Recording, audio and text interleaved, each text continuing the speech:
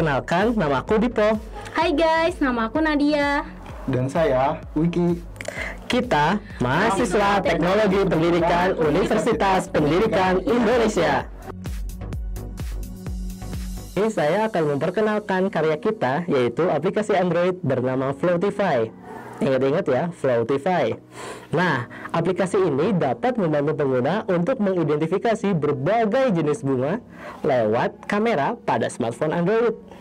Nama Floatify sendiri berasal dari dua kata, yaitu flower dan identify, yang artinya adalah identifikasi jenis bunga.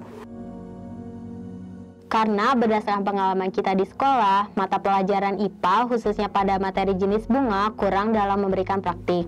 Padahal mata pelajaran IPA merupakan salah satu mata pelajaran produk yang artinya diharapkan dalam mempelajari mata pelajaran IPA teman-teman akan menghasilkan ilmu pengetahuan yang baru ataupun sebuah karya. Nah, aplikasi ini diharapkan dapat membantu teman-teman dalam belajar mata pelajaran IPA materi jenis bunga. Dalam mengarahkan aplikasi ini, tentunya kita menemui beberapa kendala. Yang pertama yaitu time management dari antar anggota, lalu koordinasi atau teamwork kita. Yang ketiga ada sumber daya, sumber daya dari perangkat.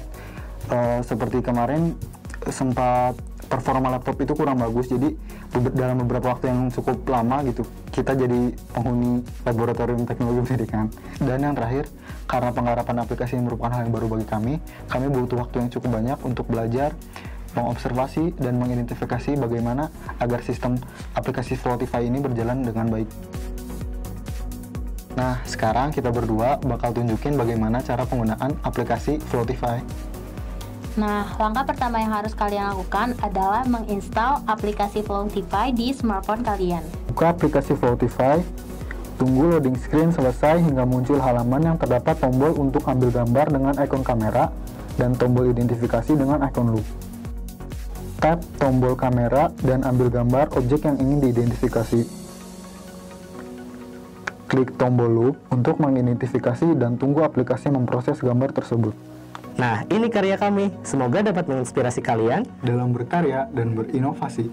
Jangan lupa di like, di share, dan di subscribe channel Kurikulum dan Teknologi Pendidikan dan tunggu aplikasi Spotify launch di Play Store. Dadah.